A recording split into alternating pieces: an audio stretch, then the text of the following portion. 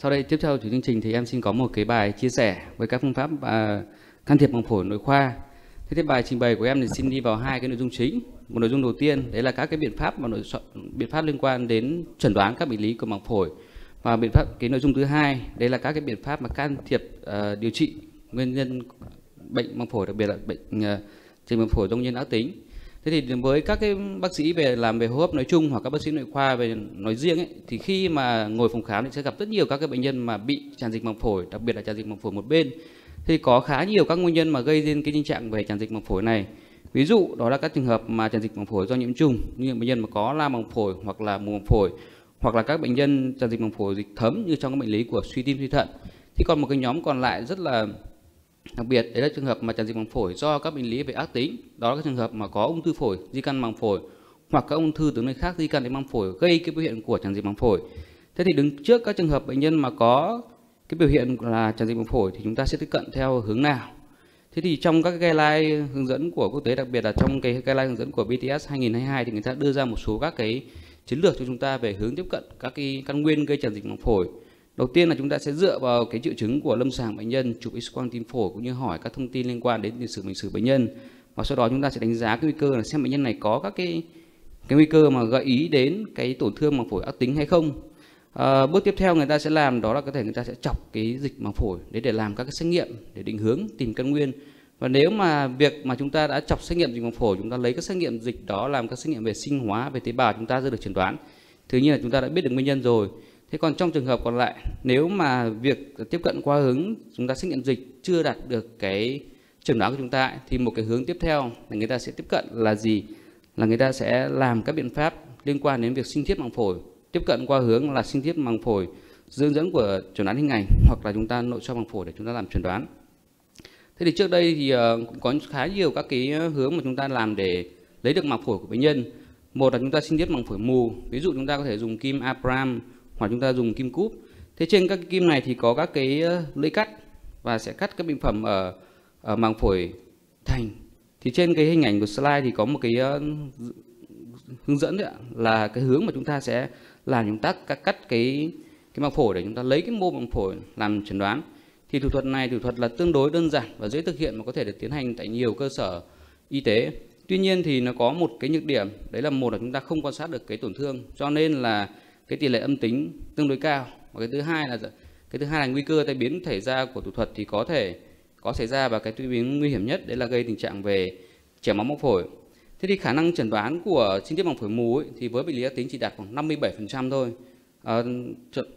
với sinh tiết bằng phổi mù thì có thể tăng từ 7 đến 27% so với việc chúng ta lấy cái dịch đơn thuần tùy từng nghiên cứu. Và ở những cái địa phương mà có tỷ lệ dịch tế lao cao ấy thì khả năng chuẩn đoán của sinh tiết bằng phổi mù đạt từ 80 đến 87%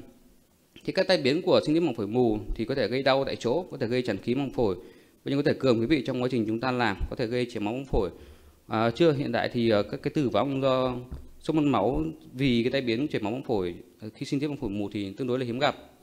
Cái biện pháp thứ hai để chúng ta lấy được bệnh phẩm trong khoang màng phổi đấy là chúng ta sinh thiết màng phổi dương dẫn của các phương tiện chuẩn đoán hình ảnh. Mà đơn giản nhất đấy là siêu âm siêu âm màng phổi. Thế trên hình ảnh siêu âm thì người ta có thể đánh giá được cái vị trí mà màng phổi dày đúng không ạ? Và sau đó thì có thể dùng uh, dùng kim dùng kim kim ví dụ là dùng kim uh, chu cút để chúng ta sinh thiết màng phổi hoặc là một số địa phương với các bác sĩ giàu kinh nghiệm người ta có thể dùng cái kim abram hoặc là kim cúp để chúng ta sinh thiết màng phổi dưới dẫn của siêu âm. Thế thì khi mà sinh thiết dưới dẫn màng phổi dưới dẫn của siêu âm ấy, thì chúng ta làm trực tiếp và có thể chúng ta nhìn thấy bằng mắt trực tiếp trên cái màn hình của siêu âm mà chúng ta có thể sinh thiết được cái vị trí đúng mà tổn thương chúng ta cần. Tuy nhiên thì ờ, với sinh thiết màng phổi hướng dẫn của siêu âm thì cần được tiến hành ở các cái cơ sở y tế với các bác sĩ mà giàu kinh nghiệm về siêu âm. Thế còn các bác sĩ mà không có kinh nghiệm thì chúng ta không thể làm thủ thuật này. Biện pháp tiếp theo đấy, chúng ta có thể sinh thiết màng phổi dưới hướng dẫn của chụp các lớp vi tính của lồng ngực. Thế thì trên các lớp vi tính của lồng ngực người ta có thể đánh giá được các cái vị trí màng phổi bị dày bất thường và sau đấy thì có thể sinh thiết bằng kim kim kim chu cút với các tổn thương ở màng phổi À, một số các đặc điểm mà định hướng tổn thương ác tính trên phim club lớp vi tính đấy là có dày màng phổi chu vi, dày màng phổi nốt, dày màng phổi thành trên 1 cm hoặc có dày màng phổi trung thất thì với các cái đặc điểm này người ta nhận thấy là độ đặc hiệu trong chuẩn đoán các bệnh lý ác tính đạt uh, thứ tự trên xuống dưới đấy là độ đặc hiệu là từ 100%, 94%, 94% và 88%. Tương tự với cái độ nhạy là 41, 51, 36 và 56%. Thế thế thì nếu mà trên cái à, hình ảnh chụp các lớp vi tính phổi mà chúng ta nhận thấy có các cái đặc điểm này là chúng ta sẽ hướng nhận hướng tức là chúng ta sẽ hướng tới cái căn nguyên đấy là do cái bệnh lý ác tính. Thì như trên hình của slide là một cái hình ảnh các lớp vi tính lồng ngực có tiêm thuốc bệnh nhân nữa và trên cái hình ảnh này thì nhận diện là sẽ không có cái tình trạng là dày màng phổi. Thế trong hai cái hình ảnh uh, tiếp theo thì là bệnh nhân có dày màng phổi thành rất là dày. Và thứ hai là có cái tổn thương dạng nốt ở trên màng phổi. Và đây chính là cái đặc điểm mà chúng ta nhận diện là nguyên nhân gây tràn dịch màng phổi có thể do nguyên nhân ác tính. Thế còn trên hình ảnh xương ấy thì chúng ta có thể nhận định được các hình ảnh mà có dày thành hoặc là không dày thành à, không dày màng phổi ở trên trên xương. Và từ đó chúng ta định hướng xem đến nguyên nhân đấy là lành tính hay ác tính để chúng ta áp dụng các biện pháp về sinh thiết dưới hướng dẫn của CT hay hướng dẫn của siêu âm. Thế thì uh, uh, trên thế giới người ta cũng đã làm một số các cái nghiên cứu để đánh giá vai trò và hiệu đánh giá về cái khả năng chẩn đoán của CT của sinh tiết màng phổi dưới hướng dẫn của CT hay siêu âm. Thì nhận thấy là hai ờ, cái hai cái phương pháp này thì có độ chuẩn đoán là như nhau. Tuy nhiên thì với siêu âm thì thời gian có thể chúng ta sẽ rút ngắn lại quá trình làm thủ thuật và bệnh nhân thì sẽ không bị ấn tia. À, với các cái ờ, phương phương tiện phương pháp mà chúng ta sinh thiết bằng phổi dương dẫn của chuẩn đoán hình ảnh ấy, thì nó giúp làm tăng hiệu quả chuẩn đoán và giảm thiểu tai biến hơn so với sinh thiết bằng phổi mù chúng ta có thể chọn được cái vị trí sinh tiết chính xác hơn và cho phép sinh tiết các khối ở trên màng phổi ngay cả khi mà không có dịch ở trong khoang màng phổi và các tai biến của thủ thuật này thì tương đối thấp cái biện pháp tiếp theo để chúng ta tiếp cận với bệnh nhân mà có tràn dịch màng phổi khi mà các cái phương tiện về chuẩn đoán hình ảnh chúng ta chưa ra được chuẩn đoán để chúng ta có thể tiến hành về nội soi màng phổi nội soi màng phổi nội khoa thì uh, nội soi màng phổi được uh, được khởi phát từ những năm khoảng 1911 với tác giả là Hans Jacobo thì ông đã dùng cái ống son bạc quang để sinh nội soi bằng phổi để chẩn đoán các nguyên màng phổi gây tràn dịch màng phổi cho bệnh nhân. Thế thì về chỉ định nội soi bằng phổi nội khoa ấy, thì có hai cái chỉ định chính. Một là chúng ta chẩn đoán trong trường hợp bệnh nhân mà tràn dịch màng phổi chưa rõ nguyên nhân, chúng ta có thể dùng nội soi màng phổi để chúng ta tìm các cái tổn thương phổi, đánh giá các giai đoạn của ung thư phổi. Và cái ờ, chỉ định thứ hai để chúng ta điều trị, điều trị thì hoặc là chúng ta sẽ dùng để gây dính màng phổi hoặc là trong một số trường hợp chúng ta có thể gỡ dính màng phổi ở trên hình là một số các cái ờ, công cụ để chúng ta dùng trong quá trình nội soi màng phổi thế nội soi màng phổi chúng ta sẽ người ta sẽ có nhiều cái hình thức và nhiều cái dụng cụ thì cái hình thức mà từ xa xưa nhất và vẫn, hiện tại vẫn đang được áp dụng, đó là chúng ta nội soi màng phổi ống cứng với trên hình ảnh là các cái optic liên quan đến việc chúng ta quan sát các cái tổn thương ở trong khoang màng phổi, kèm theo đó là các cái kìm sinh thiết. Và kìm sinh thiết này thì có loại là, có loại là chúng ta đưa song song cùng với cái optic và có loại là chúng ta có thể luồn cái optic này vào trong cái kìm sinh thiết đấy và sinh thiết bằng phổi được. Bên cạnh đó thì có thể có thêm một số các dụng cụ khác để chúng ta điều trị cho bệnh nhân. Như chúng ta có cái dụng cụ để chúng ta phun mù bột tan trong quá trình chúng ta nội soi màng phổi. Nếu nhận định tổn thương màng phổi là ác tính thì chúng ta có thể phun một tan để chúng ta gây dính màng phổi cho bệnh nhân. Hiện tại thì một số cái ống soi người ta đã thiết kế ống nội soi màng phổi thiết kế cao cấp hơn. Đấy là cái ống nội soi màng phổi thì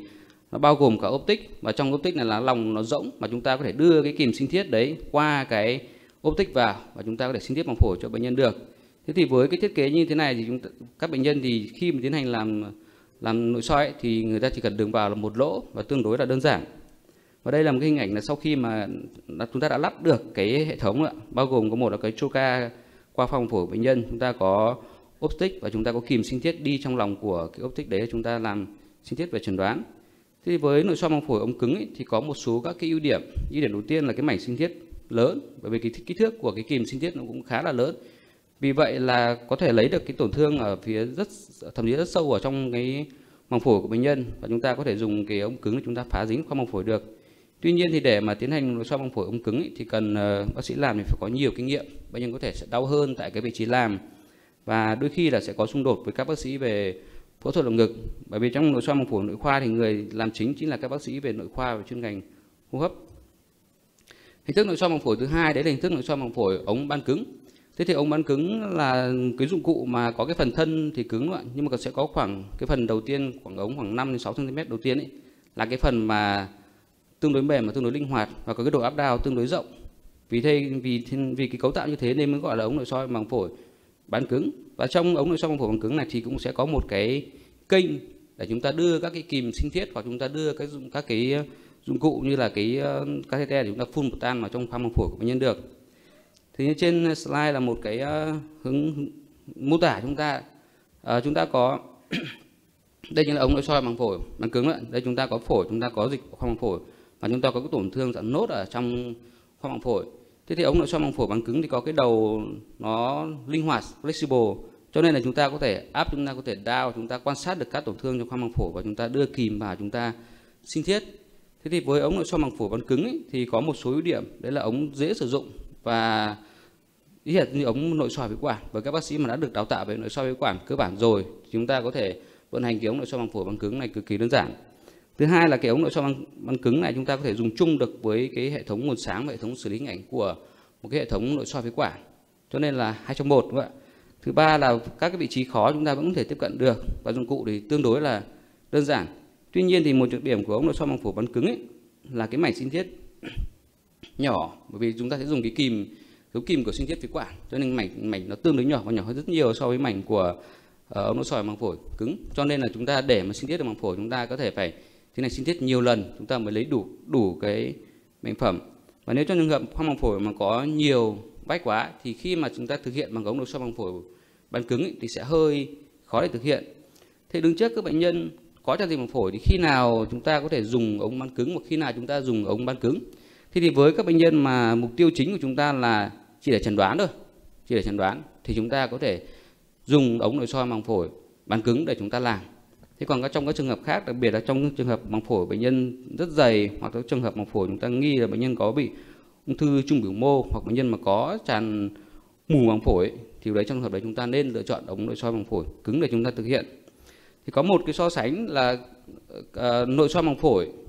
nội khoa tức là nội soi màng phổi mà tôi vừa mới trao đổi quý vị. Và thứ hai là chúng ta nội soi lồng ngực dinh dẫn của video. Thì nó có một số các sự khác biệt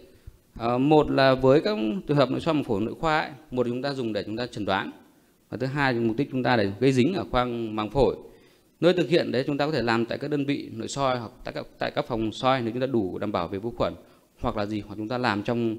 trong các phòng mổ. Và bệnh nhân có thể gây tê tại chỗ hoặc có thể gây mê nông. À, dụng cụ thì à, tương đối đơn giản chúng ta có thể đường vào một lỗ hai lỗ. So với các phương pháp về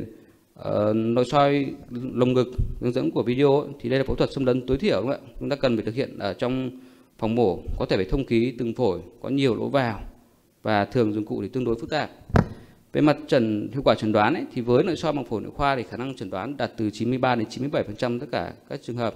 và thủ thuật làm thì tương đối an toàn với cái một số tai biến như chảy máu gây mù màng phổi thì dưới 2%.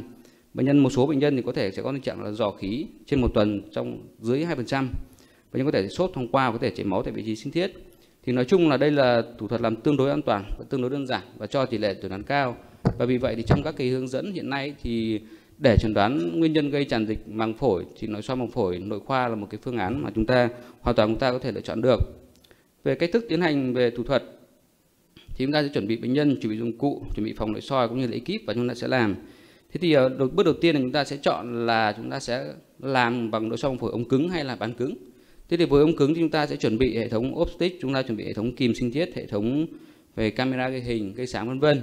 Thế còn ống nội soi bằng phổi bán cứng ấy, chúng ta cần hệ thống ờ, một là cái ống nội soi bằng phổi bán cứng, thứ hai chúng ta cần một cái kim sinh thiết và bộ bụng mở ống phổi như choca để chúng ta vào màng phổi. Thế về tư thế của bệnh nhân khi mà làm thì bệnh nhân cần tư thế là nằm nghiêng, nằm nghiêng, ờ, đưa dây bên bệnh lên cao và chúng ta nên cố định người bệnh nhân vào vào, vào bán bổ hoặc là cáng đúng không ạ? Và trước khi mà chúng ta tiến hành chúng ta cần phải siêu âm để chúng ta tìm đường vào khoang măng phổi vì sẽ có những trường hợp là mà phổi nó dính vào thành ngực cho nên với các bác sĩ nội khoa khi mà làm thủ thuật này chúng ta chọn vị trí không tốt ấy thì nếu mà chúng ta chọn vị trí mà phổi nó dính vào thành ngực vô hình chung chúng ta có thể gây ra tình trạng là thủng rách phổi thì thế là tương đối nguy hiểm với các bác sĩ nội khoa khi mà làm thế thì các cái bước mà tiến hành là chúng ta sẽ chảy xăng à, chúng ta sẽ sát khuẩn đúng không ạ chúng ta chảy xăng chúng ta gây tê tại chỗ chúng ta làm thủ thuật sau đó chúng ta mở màng phổi đặt cái choca dẫn đường và sau đó chúng ta đưa ống nội soi màng phổi bán cứng vào. Chúng ta quan sát các cái tổn thương trong lòng của khoang màng phổi hút dịch khoang màng phổi và sinh thiết các cái bệnh phẩm chúng ta làm chẩn đoán. Còn nếu trong trường hợp chúng ta nghĩ nhiều đến tổn thương ung thư trong quá trình làm chúng ta có thể uh, gây dính bằng việc phun mù tan ở trong quá trình làm luôn. Và sau khi kết thúc thủ thuật chúng ta sẽ đặt ống dẫn lưu màng phổi cho bệnh nhân. Và thông thường thì với các bệnh nhân mà chúng tôi thực hiện tại trung tâm hô hấp bệnh mai thì ống dẫn lưu lưu khoảng 2 ngày là chúng ta có thể thu xong dẫn lưu cho bệnh nhân được rồi thì trên hình là một uh, ekip của trên trung tâm hô hấp bệnh mai chúng tôi tiến hành nội soi màng phổi bằng ống bán cứng cho bệnh nhân để làm chẩn đoán căn nguyên, căn nguyên gây tràn dịch màng phổi thế thì về vị trí mà tổn thương mà chúng ta sinh thiết ấy, thì trong một số nghiên cứu người ta nhận thấy là với các trường hợp mà có tổn thương ác tính thì đa phần cái tổn thương nó sẽ nằm ở phía dưới của lồng ngực chiếm đến khoảng 94%, trong khi đó có tổn thương ở vùng trên đỉnh phổi thì chiếm rất thấp khoảng 6 dưới 6%. Cho nên là khi mà tiến hành nội thủ thuật là nội soi màng phổi chúng ta chẩn đoán ấy thì chúng ta quan tâm đến chú ý tìm các cái tổn thương ở phía dưới của lồng ngực để chúng ta sinh thiết các mạch bình phẩm để chúng ta làm chẩn đoán. Thì trong các biện pháp mà sinh thiết màng phổi ấy, thì người ta nhận thấy là với cái nội soi màng phổi nội khoa so sánh với nội soi lồng ngực ấy, thì tỷ lệ chẩn đoán như nhau, đồ đặc hiệu, đồ, đồ nhạy, đồ đặc hiệu như nhau và nội soi màng phổi nội khoa thì có vẻ là ít xâm lấn hơn so với uh, phẫu thuật của lồng ngực. Thứ hai là ống nội soi cứng và ban cứng ấy, thì về mặt tỷ lệ chẩn đoán ấy, thì giống hệt nhau, y tương tương tương đương nhau và sự khác biệt thì không có nghĩa thống kê. Và nội soi màng phổi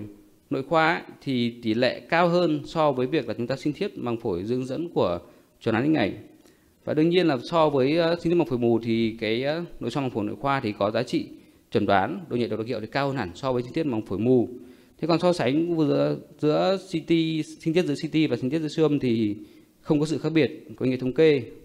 Còn à, nội soi còn sinh thiết bằng phổi mù thì cho giá trị chẩn đoán là thấp nhất. Và vì vậy thì trong hướng dẫn của BTS 2022 thì người ta khuyên cáo là với các trường hợp mà tràn dịch màng phổi chúng ta có thể lựa chọn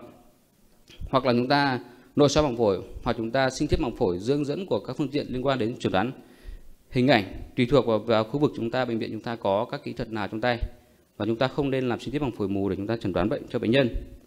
À, em sẽ đi sang phần thứ hai, đấy là các biện pháp liên quan chúng ta điều trị cái, cái ờ, căn nguyên à, điều trị tràn dịch màng phổi ác tính. Thế thì các cái biện pháp mà can thiệp của màng phổi trong vấn đề về trần điều trị tràn dịch màng phổi chủ yếu chính mục tiêu chính vẫn là vấn đề về chăm sóc giảm nhẹ mà không phải điều trị triệt căn và cũng không có ý nghĩa là việc kéo dài thêm cuộc sống của bệnh nhân. Tuy nhiên thì có thể giúp cho bệnh nhân cải thiện được cái chất lượng cuộc sống ở những cái giai đoạn cuối thế thì trong hướng dẫn của ATS BTS 2022 thì cũng đều nhấn mạnh ba hai cái vai trò của hai cái hình thức một là chúng ta đặt IPC tức là catheter đường hầm và cái thứ hai chúng ta gây dính bằng phổi thế thì khi nào chúng ta sẽ khi nào chúng ta sẽ đặt IPC và khi nào chúng ta sẽ gây dính màng phổi. Thì trong cái hướng dẫn về ờ, điều trị tràn dịch màng phổi ác tính ấy, thì ở những bệnh nhân mà có tràn dịch màng phổi số lượng nhiều đúng không ạ? Tràn dịch màng phổi ác tính chúng ta cần phải chọc hút nhiều lần. Thế thì ờ, nếu mà bệnh nhân mà tiết lượng sống ngắn quá dưới 2 tuần thì người ta sẽ hạn chế làm các thủ thuật mà người ta có thể